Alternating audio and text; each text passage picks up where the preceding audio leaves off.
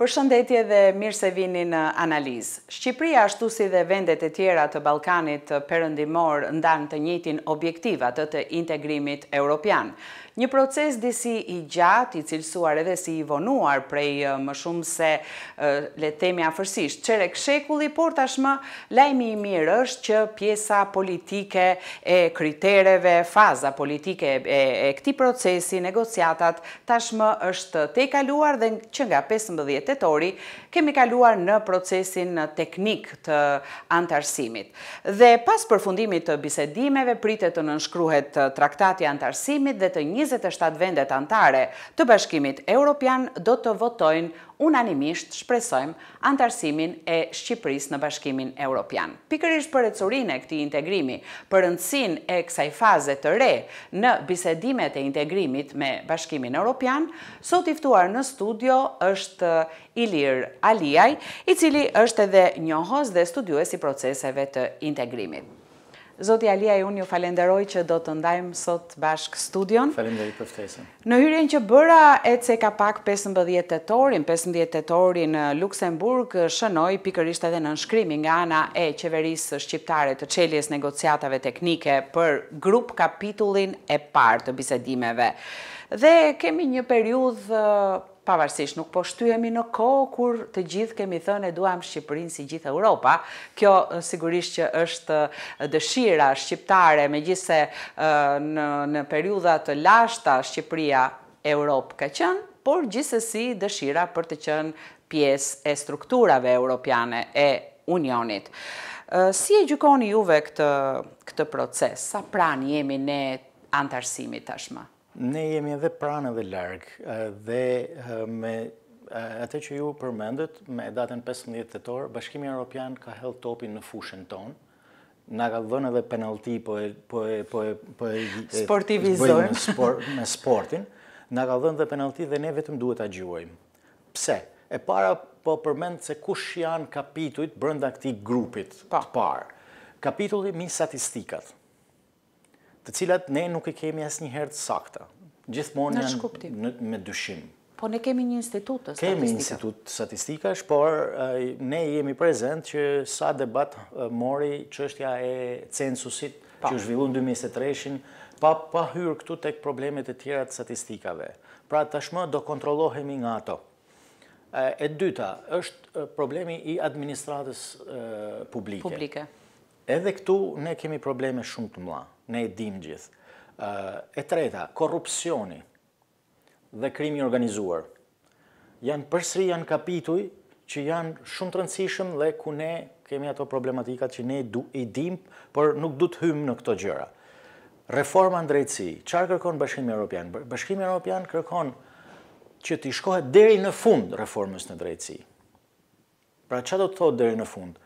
Të çrrenjosen një herë e mirë grupet e krimit të organizuar, por njëkohësisht dhe mbështetësit ose personazhet e korruptuara që janë në sistemin e drejtësisë, në politikë, në polici, në ushtri, kudo ku janë. Po pra, pak utopike duket kjo, sepse nuk ka vend që nuk ka, jo, jo, nivele të korrupsionit. Ka nivele të korrupsionit, ka nivele të korrupsionit, por po marrim një shembull i cili është si Kroacia, e cila burgosi kryeministrin Ivan Sanader, dhe duke qenë në burg me 7 vjet, i shtuan edhe 17 tjera, kemi Rumaninë, e cila ka kryer një reformë drejtësie shembullore. A ka në Rumani korrupsion sot? Sigurisht që ka. Po. Por, ka spastruar një herë një klasë politike që kishte uzurpuar skenën politike, dhe këtë kërkon Bashkimi Europian. Tjetër kapitull që është brenda këtij grup kapitulli, është çështja e prokurimeve publike. A mund ta mendojmë ne sot, sepse në momentin që hapen negociatat, mbyllet kapitulli, Një kompani, nuk po them nga vendet fqinje tona, që janë anëtare të Bashkimit Europian, por po marr nga Portugalia, po. shikon në internet që në Shqipëri është një tender publik për të ofruar një produkt, një shërbim, nuk e di se çfarë. Dhe ajo kompania nga Portugalia vjen këtu dhe jep ofertën e saj. A mund ta mendoj që ajo do, mund ta mendojmë ne sot në këto kushte që jemi, që ato do do e fitojnë? Do e fitojnë. Këtë tender?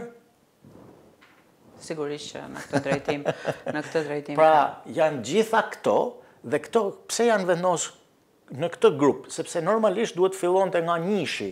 Po. Pra, kapitulli i parë.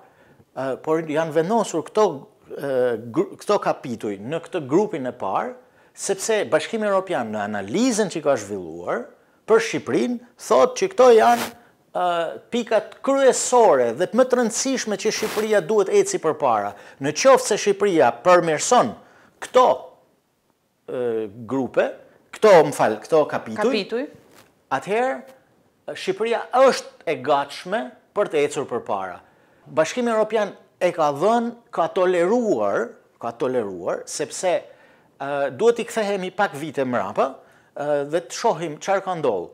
Kemi një rezolutë të Bundestagut, e cila thotë, në qoftë se Shqipëria nuk realizon pikat që kanë të bëjnë me korrupsionin, me krimin e organizuar, reformën në administratën publike, janë edhe disa pika tjera, por që janë shumë më të lehta. Po, mund të jenë më teknike, më... Nuk do hapen kapitujt Pra, Bashkimi Europian ka nënvleftësuar rezolutën e Bundestagut, po flasim për Bundestagun, dhe i hapi grup kapitullin e parë. Sipas asaj çfarë thotë Ursula von der Leyen që e tha në Tiranë pak ditë më parë, deri në fund të vitit tjetër, nëqoftëse ne bëjmë përmirësime do hapen gjithë grup kapitujt.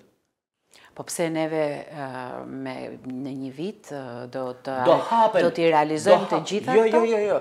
Përmirësime thot ajo, përmirësime, sepse grup kapitulli i parë po. hapet i pari dhe mbyllet i fundit. Okej. Dhe sepse ato e dinë që sa sa punë duhet. Por ne duhet të japim, ne duhet të japim shenjë po, pozitive. Po. që ne jemi të gatshëm të fillojmë të punojmë seriozisht, ashtu siç e do Bashkimi Evropian. Po. Dhe kjo është pra prandaj topi dhe penalltia është e jona, s'kemi as portier, duhet të bëjmë veç gol. Pra, pak a shumë nëse e kuptova mjaft mirë edhe këtë, është një proces që përgjegjësinë e kemi vetë. Pa diskutim që po. Gjithçka. Pa diskutim që po. Na e kanë bërë autostradë, na e kanë bërë rrugën, tashi vazhdoni. Në fakt juve e përmendët pak vizitën e zonjës von der Leyen, e cila javën e kaluar ishte në Shqipëri dhe sigurisht që në të gjitha mediat dhe në analizat është cilësuar si një marrëdhënie, domethënë një fazë e re në marrëdhëniet Bashkimi Europian Shqipëri. A do të ndikojë kjo vizitë në përshpejtimin e procesit? Shiko, ne duhet të mësohemi që tashmë vizitat e von der Leyenit apo edhe liderëve të tjerë të Bashkimit Europian apo edhe të vendeve të rëndësishme të Bashkimit Europian, siç është Gjermania, Franca, Italia, do jenë shumë të shpeshta tashmë në Shqipëri. Ë Shqipëria është e vogël, ne e dimë, por është shumë e rëndësishme nga pikëpamja gjeostrategjike. Po. Dhe dje ishte një një artikull shumë i rëndësishëm ku thonte që tashmë Shqipëria, pavarësisht se është kaq e vogël, pavarësisht se ka këto probleme që ne i përmendëm, është një pjesë e shumë e rëndësishme dhe është fokusuar e gjithë perëndimi tek Shqipëria, pra në Ballkanin Perëndimor janë fokusuar te Shqipëria. Dhe të them drejtën, unë Me të vërtetë u ndjeva shumë mirë kur lexova një artikull të tjerë, tillë në mediat më të rëndësishme amerikane. E kishte fjalën për turizmin apo? Jo, jo, jo, jo, s'kishte fjalën. Sepse në fakt neve tani jemi në këtë euforinë jo, jo, jo, turistike, sepse mediat më prestigjioze shkruajnë për turizmin në Shqipëri, media deri në Indi apo edhe po, po, vende të po, tjera. Po, nuk kishte lidhje aspak me turizmin, kishte lidhje me rëndësinë që ka Shqipëria për Bashkimin Europian dhe Shtetet e Bashkuara të Amerikës nga pikëpamja gjeopolitike, gjeostrategjike. Presidentja e Komisionit Europian, von der Leyen, ka krijuar një besim të madh tek Shqipëria. Unë e dëgjova atë natë tek hapja e Kolegjit të Europës, fjalën e saj, isha prezent aty dhe ka krijuar besim. Dhe kjo është shumë e rëndësishme. Por, gjithmonë duhet edhe ne t'i japim besimin atyre. Ta justifikojmë besimin që na kanë dhënë. Po, sepse po, po i zhgënjejmë, pastaj është keq për ne, jo për ato. Është keq për ne. Dhe kjo është ajo që, që ne duhet të kemi parasysh. Ne gjithë media, universitetet, po, shoqëria civile. Se kur flasim për standarde nuk mund të duhet të bëjmë atë presionin tonë pozitiv gjithmonë, për të nxitur institucionet shtetërore, klasën politike shqiptare që të kenë që të bëjnë më të mirën e tyre. Është një proces integrimi europian është një proces shumë i vështirë. Është shumë i vështirë. Duket. Duhet, duhet patjetër që të ketë një bashkëpunim sa më të gjerë, Por, fatkeqësisht, ne e shohim që ka momente kur ne flasim shqip me njëri-tjetrin, po s'merremi. Po nuk merremi. Tani, neve kemi, dy mijë e njëzet e pesë-a do të jetë një vit shumë i rëndësishëm për Shqipërinë, sepse do të jenë zgjedhjet e përgjithshme. Gjykoni se do të ndikojnë, sepse flasim gjithmonë tek për klasën politike, sigurisht. Gjykoni se do të ndikojë kjo atmosferë pozitivisht Jo, apo në integrimin? Unë besoj, unë besoj që, unë besoj që si gjithmonë dhe si kudo, ka tensione para, para dhe gjatë zhvillimit të procesit po, zgjedhor. Edhe pas. Edhe pas. Se varet nga njohja e, po, rezultateve. Po, po, po, po shikoja mbrëm në, në, në televizion që kishte në rajonin e Ligurias kishte kishte zgjedhje dhe e shikova me vëmendje dhe në Itali pra dhe e shikova me vëmendje që edhe në Itali, një vend me demokraci të konsoliduar, po, me institucione të konsoliduara, edhe në Itali kishte tensione brenda për brenda dy kampeve.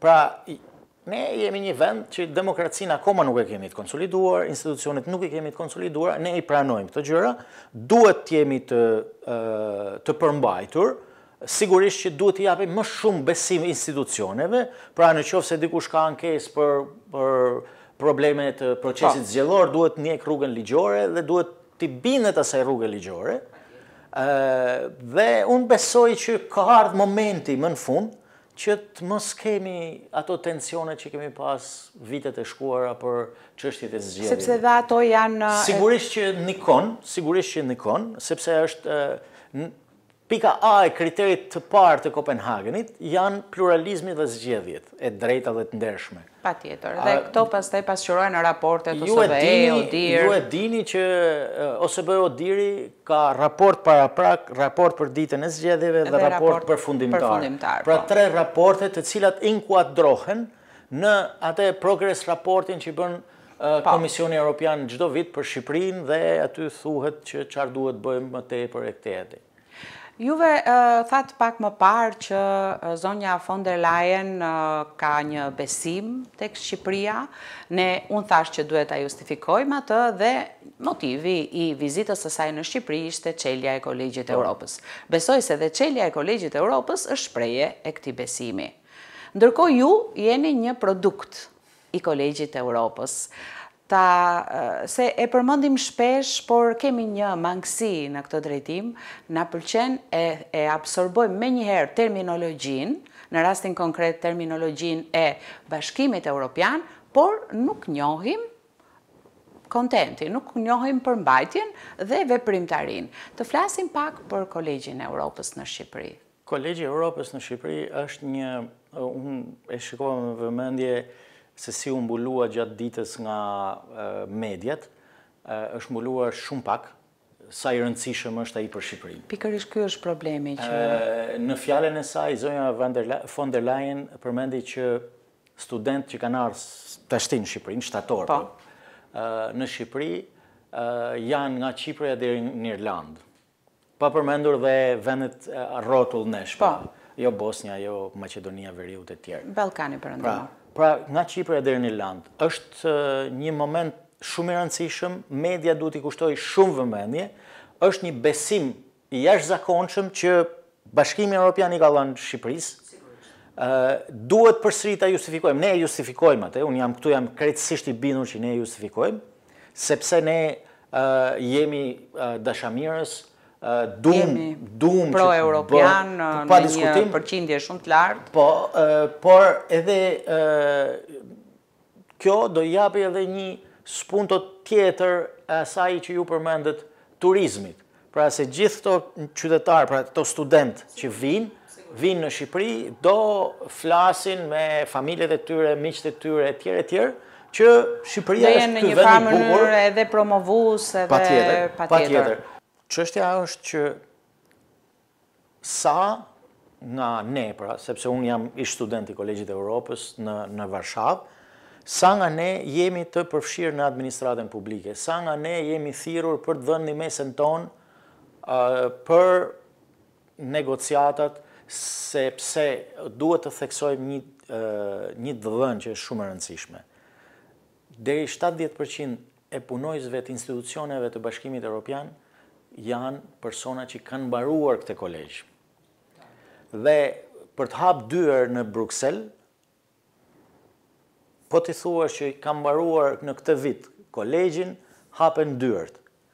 Pra, kjo është për të mirën e vendit. Ne secili nga ne kemi gjetë vendet tona dhe nuk kemi asnjë lloj shqetësimit në jetën tonë të përditshme.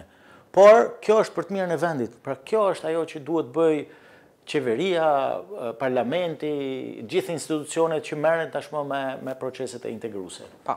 Dhe së fundmi, si paraqitet, sepse në hyrjen time thashë që Shqipëria ashtu dhe vendet e tjera të Ballkanit Perëndimor, objektivin e tyre qendror kanë pikërisht integrimin në Bashkimin Europian, paçka se kemi një problematikë në gjykimin tim që dëshira jonë primare është që ne Mos kemi nevojë për kufizime.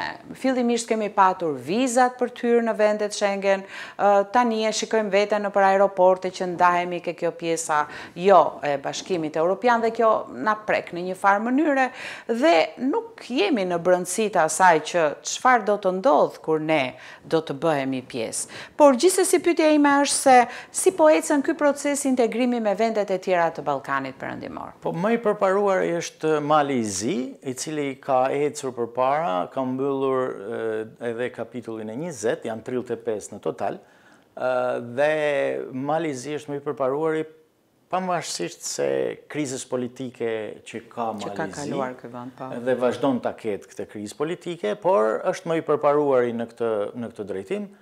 Serbia është ndaluar tek kapitulli trembëdhjetë, shkak është çështja marrëdhëniet me Kosovën.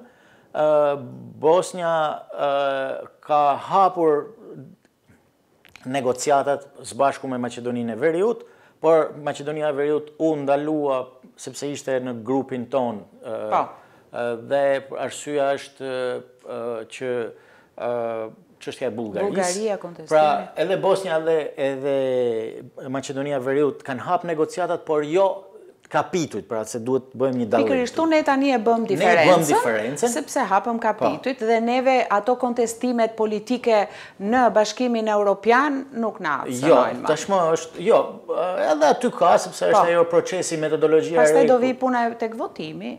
Jo, jo, jo, jo, është metodologjia e re e francezëve që thotë që në qoftë se ky vendi nuk bën përparimet e duhura, atëherë ndalohet çdo gjë dhe kthehet mbrapa çdo gjë. Po, po unë uroj që të mos të jetë kjo çështja e jo. Shqipërisë. Pra Bosnja dhe Maqedonia e Veriut kanë këto problematika, Bosnja kuptohet që është një vend me me problematika ndëretnike. Po, problematika. Kosova është akoma, është në rrugë, në proces, por le të shpresojmë, akoma nuk ka marrë atë statusin e vendit kandidat. Unë besoj që gjërat po ecin mirë. Duhet ne të veprojmë më shumë, e thashë. Sigurisht, sigurisht. Të shumë. Unë ju falënderoj shumë për të gjitha opinionet që ndatë në studion e analizës edhe ne si shqiptarë, sigurisht që shpresojmë që të jetë sa më i lehtë dhe sa më i realizueshëm procesi deri në momentin final të anëtarësimit. Faleminderit ju për ftesën, kënaqësi. Faleminderit. Të dashur miq kjo ishte analizë për sot. Me Ilir Aliaj, njohës i proceseve të integrimit, i integrimit europian dhe master në Kolegjin e Europës, ne folëm sot për ecurinë e procesit të integrimit, ku ndodhet Shqipëria tashmë pas hapjes së Grup Kapitullit të Parë. Ju falenderoj shumë për vëmendjen tuaj, mirutakofshim.